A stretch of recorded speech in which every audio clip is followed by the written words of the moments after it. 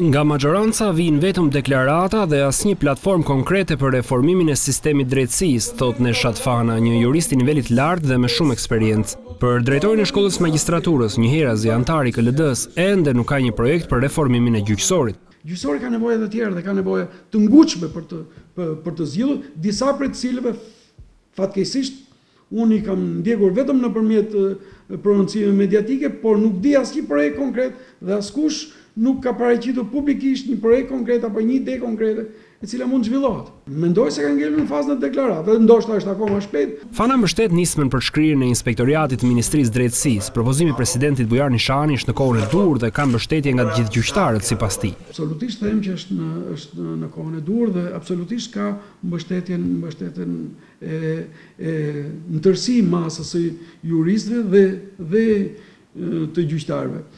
Pozicionet pastaj të të të ministrave, të njërës qeveri apo në në apo tjetrës qeveri në raport me këtë problematikë gjithmonë janë parë në sensin politik.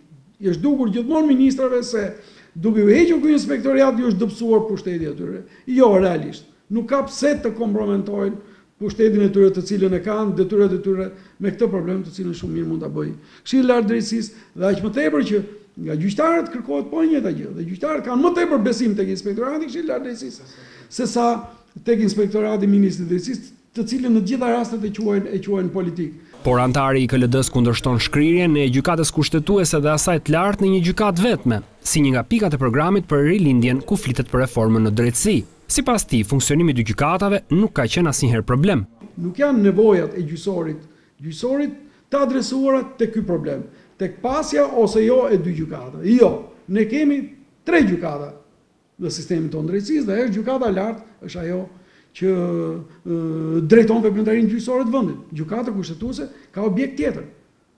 Dhe ato po e kryejnë, e kryejnë më së miri, e kryejnë, e kryejnë sipas Kushtetutës dhe dhe ligjeve të vendit. Dhe nuk është ky problem. Pra asnjëherë ne nuk kemi pasur, nuk kemi, nuk ndeshim në në veprimtarinë tonë përgjithë, apo në shqetësimet e publikut, faktin që Shqipëria ka ka dy gjykata. Sipas drejtorit të Shkollës së Magjistraturës, ligji për funksionimin e KLD-së nuk ka nevojë për ndryshime në modelin e përfaqësimit të anëtarëve, pasi ky model sipas Fanës ka qenë i suksesshëm.